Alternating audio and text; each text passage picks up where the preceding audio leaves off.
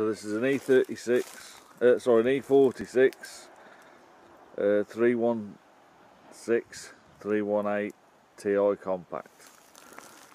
To get to the relays and fuses, or some of the relays and fuses, you've got four screws, or four Allen headed bolts, easily to remove.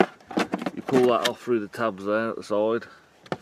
It gives you access to various relays and an ECU.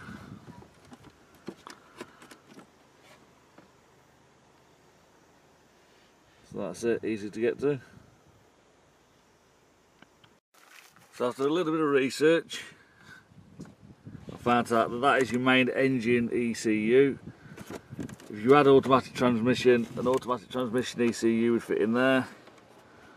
These are either your fuel injector controls or your engine management control relays.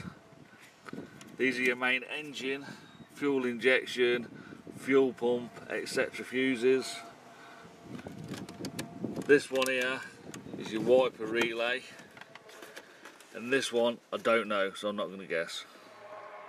So wiper relay, engine management control relays, engine management control fuses, engine management uh, ECU and it's all in this waterproof container.